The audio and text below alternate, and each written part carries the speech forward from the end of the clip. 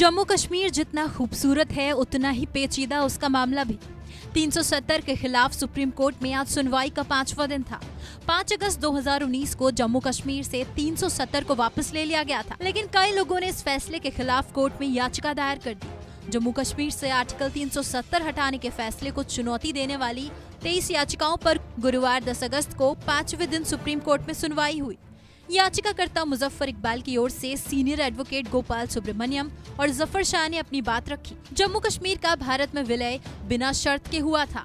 Article 370 पर supreme court में तीन साल बाद सुनवाई हो रही है। 8 अगस्त को हुई सुनवाई में डीवाई चंद्रचूड़ ने कहा, आर्टिकल 370 खुद कहता है कि इसे खत्म किया जा सकता है। कपिल सिब्बल ने बोला 370 में आप बदलाव नहीं कर सकते। इसे हटाना तो भूल ही जाइए। इसके जवाब में डीवाई चंद्रचूड़ ने कहा, आप सही कह रहे हैं। इसीलिए सरकार के पास स्वयं 370 में बदलाव करने की कोई शक्ति नहीं है।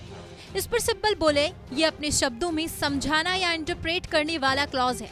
ये संविधान में संशोधन करने वाला क्लॉज नहीं है। सुनवाई करने वाले पाँच जजों की बेंच में chief justice D Y Chandrachud, justice S K Kaul, justice Sanjiv Khanna, justice B R Gavai और जस्टिस सूर्यकांत शामिल हैं। गोपाल सुब्रमण्यम ने कहा विलय के समय जम्मू कश्मीर किसी अन्य राज्य की तरह नहीं था।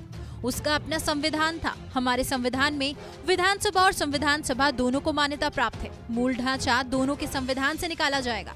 इसके बाद गोपाल सुब्रमण्यम ने 9 अगस्त को दलीलें दी। आर्टिकल 370 पर सुप्रीम कोर्ट में तीन साल बाद सुनवाई हो रही है। इससे पहले 2020 में पाँच जजों की संवैधानिक बेंच ने इस मामले की सुनवाई की थी। नमस्कार, मैं हूँ मानक गुप्ता। अगर आपको हमारा ये वीडियो पसंद आया हो तो इसे लाइक और शेयर ज़रूर करें। और हाँ हमें सब्सक्राइब और फॉलो करना ना भूलें, ताकि आप देश और दुनिया की कोई खबर मिस ना करें। तो जुड़े रहिए हमारे साथ और देखते रहिए न्यूज़ 24